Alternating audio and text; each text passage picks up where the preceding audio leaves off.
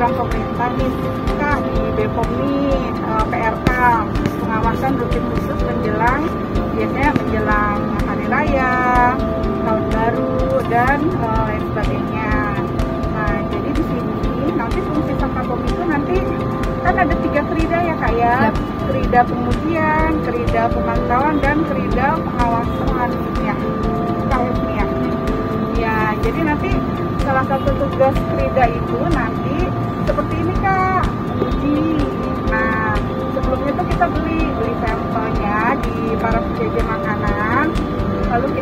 preparasi, kita reaksikan dengan keempat eh, test kit bahan berbahaya ini. Nah di sini kita eh, ada formaldehid, eh, formalin.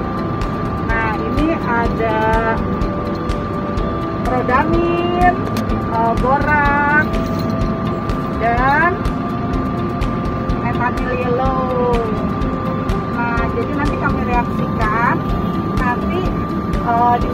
ada baku ada standarnya ya kak ya. Nah nanti jika eh, hasil dari eh, sampel dari reaksi sampel ini kalau misalnya sama dengan standar, itu berarti diduga mengandung salah satu dari keempat bahan berbahaya ini seperti itu. Nah nanti eh, tadi seperti tadi juga ya kak ya eh, kita kan ada pemberian eh, KIG ya eh, komunikasi, eh, informasi dan edukasi.